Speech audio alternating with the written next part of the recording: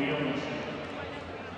on to the first final this evening the for 400 meter individual